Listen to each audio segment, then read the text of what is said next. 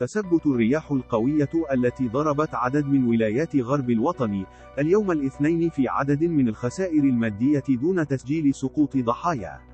فقد شهدت كل من ولاية تلمسان وسعيدة بالإضافة إلى وهران عدة حوادث بسبب الرياح القوية. وكذا الزوابع الرملية منها سقوط أعمدة كهربائية، وأيضا سقوط اللافتات عبر الطرقات.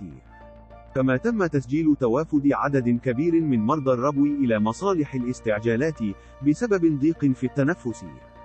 أين سجلت ولاية تلمسان سقوط لافتة توجيهية عمودية على سيارة بسبب الرياح ما تسبب في خسائر مادية دون حدوث ضحايا.